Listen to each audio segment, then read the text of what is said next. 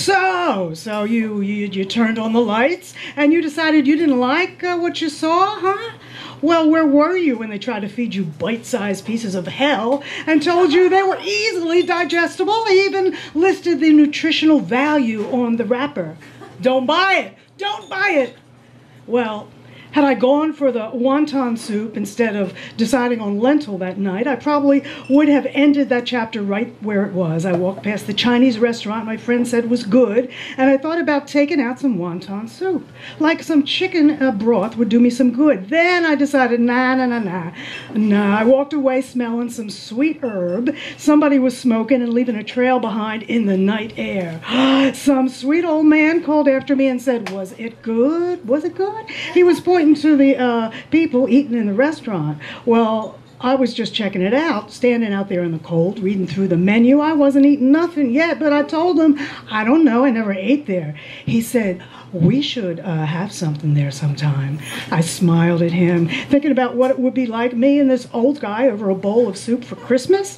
I passed on it. I walked in the direction of the Korean market, following the trail of that herb, still in the air and still unseen, though still in the air. Inhale, inhale.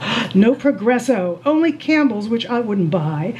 So soggy alphabets in a spoon, eating your words, your curds? No way. I, uh, some kind of Health Valley minestrone was as close as I could get that night to any real soup. She put it in a brown paper bag, and I was on my way to a quick fix and a quiet night, or so I thought. And who was she? The she who put it in the bag, someone I gave my money to, who spoke no words and blended into the cash register and the crowded counter in the garish glare of the never closes cityscape. No escape, no escape here. Ten steps down the street, heading further down to west, I hear my name in the night. There he is. There he is, tall as he is, in his black boots and looking ever taller, and, and everything black and still wearing black always, but for the moon whites of his eyes popping out like honeydew, juicy sweet and is and, and ripe and oh baby I want some. And it's my eyes popping now, seeing him in this neighborhood which is not his. It's not his that he strolled over to to look me up from out of nowhere and, and right away. It's hand holding and, oh, baby, I'm so glad to see you. And walking in the same rhythm, hip to hip. I know I'm a goner now. A drink later at Zeke's and I'm having such a good time. When the moon hits you in the solar plexus, makes your heart as big as Texas. Baby, baby, baby, call on me. Well, I gave him my can of minestrone for Christmas. I even signed it. I needed a better pen though. The ink didn't take too good on that label. Now, how was it I had chapter one on me when I went out for a soup? I just wrote it before I went out. I guess I was going to read it over my bowl of soup in whatever restaurant, so I went and I read it to him. After one drink, feeling good on an empty stomach and a beer or whatever I had. It's all too long ago now to remember those details anymore. And did he buy? And and did it even matter? I mean, buy the beer. Did he buy the beer? Who the fuck cares? That full moon, it was a full, full moon, that unblinking eye, out staring the alley cat, and the alley cat was out staring at it in that ancient alleyway. The wind of changes blew my soul to another migration.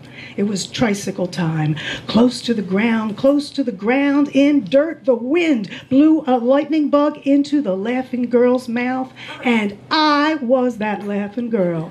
Utterly delicious! Utterly delicious. She wolf, he man, she bays at the dock of the moon, sits at the bench in the square, parks at the curb of her appetite with such a hunger for the highs and lows of the end zone of this bald field of overgrown with weeds and crickets. We were sailing along on moonlight bay. You could hear the voices singing. They seemed to say, Moonlight Bay.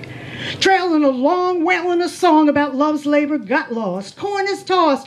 Hightail it out of here. You drinking the wrong beer. Loves labor, my albatross. How you feel around my neck so wet your kisses. Chap me not with your stick, or I'll be needing some Susie and maybe the strawberry kind next to the Chiclets. Moonlight Bay, my baby chicks, let me rooster you out of this cockfight. At the clock of the moon, on all fours, on all fours, on all floors, the tachometer stares me in the face of my heavy foot, wanting to get there, wanting to get there, wanting to get there, play and beat the clock. She wolf, he man, together they milk fed their plan. No veal, no chicken, no sheep. Sell your soul on Second Street. I second the motion. But first, a word from our sponsor. By the light of the silvery moon,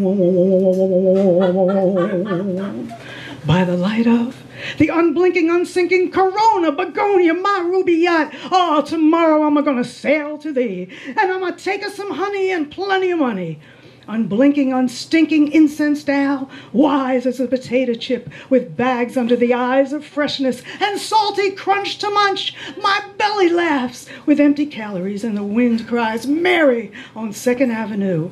This moonlight makes me, this moonlight makes me, this moonlight bay. Joseph. What a stable! This instability is a debility. Christ, what a night! With the unfeathered spirits and the untethered mentalities walking their fatalities, it's hard to buy a newspaper without dropping a quarter and stepping on a face. Even if it's on the cover of a Rolling Stone, it just lays there on the sidewalk next to some rusty can opener. Look here, there's about 75 pairs of white rubber shoes, approximately three quarters in length, neatly in a square on the sidewalk of Second Avenue, a dollar a pair, little doll shoes. I bought a pair, I gave them to somebody for a birthday present, along with a miniature harmonica called a Little Lady. It's a great thing to wear around your neck, ready to blow at a moment's notice. Better than an albatross.